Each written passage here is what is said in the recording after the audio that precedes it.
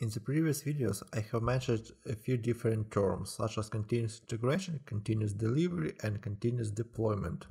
So in this video, I want to make a final clarification. What is it? What is each of them? What are these practices and uh, what's the difference between them? Because it's very popular question on any interview, any assessment, when or when you want to get any new job somebody from technical perspective can ask you what's the difference? And you should understand it. And uh, as we're going to continue our work in our course we need to understand what's the difference really and um, what we should implement or do on each step. So let's check the first one it's continuous integration. As i mentioned it mentioned before we have a few steps of pipeline.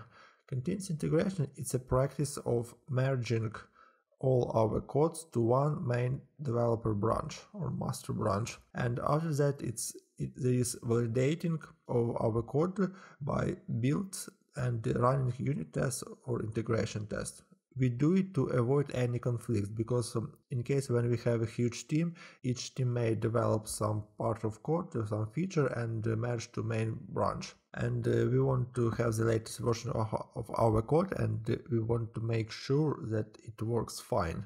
It's continuous integration. We have code push it's our trigger or pull request and uh, we have the run these pipelines. The next one is continuous delivery. It's the next step it extends our continuous integration with a few new steps. It's deployed to staging, as I mentioned, some test environment, which should be as much as much as possible similar to our production environment. And then we run end-to-end tests. Why do we run it after deploy, deploying to stage? Because uh, first of all, we need the environment where these tests can be run because test runner should open the browser and run all these tests and uh, it takes a lot of time. It can be it can take 10 12 hours. So if we run this test on the continuous integration phase it uh, uh, it may be that we never will finish this test because continuous integration can be run a thousand or hundreds times a day and integration tests and to end tests they took a lot of time. So we deploy to staging and after that uh, we can deploy the staging not after each trigger but just in some cases uh, daily or one once a day once a week and then run end-to-end tests. And after that we can deploy to production. But here what is important is manual. So we need to click a button and somebody should have decision to run the code the latest version to production and after that we can run some smoke tests on or some different uh, send some notifications or, or set up some environment. And continuous deployment it's uh, almost the same but one small change is deploy to production in automatic way. So we do not need uh, a people or we don't need a human who will click a button. All changes will go to production automatically in case the, te the tests were green. And just in case one test was failed, there will be no deployed to production. And here let's clarify is you can pause video and uh, read what does it mean and it's everything what I mentioned before. So continuous integration when developers merge their changes back to the main branch as often as possible just to get the latest version of code and know that their changes didn't break anything and their changes are validated by creating a build and running automated tests against the build. As I mentioned, it might be unit tests or integration tests.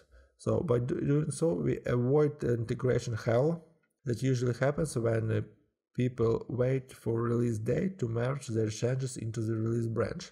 As I mentioned before, it might be really difficult. Continuous delivery, it's extension of continuous integration. I can say that it's the next step. And when you made your changes, you can release these new changes to your customer quickly in a suitable way. This, that means that uh, on top of having automated your testing, you also have automated your release process and you can deploy your application at any point of time by clicking a button. What is important is uh, this manual action. So somebody should uh, make this decision and uh, publish it to production. And continuous deployment, as I mentioned before, it's almost the same, but it will be automatically. So there is no human intervention and everything will be published if all tests are passed. Also, what we should mention here that um, after that continuous after continuous deployment, there might be some additional changes or additional steps in our pipeline. For example, we can make some configuration changes like set up A/B testing. We can uh, send notification to users about new features.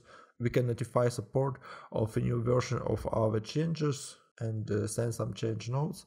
And there are a lot of different steps. We can do it after that, after the code was released to production. That's small schema about what's the difference about continuous integration, continuous delivery and continuous deployment.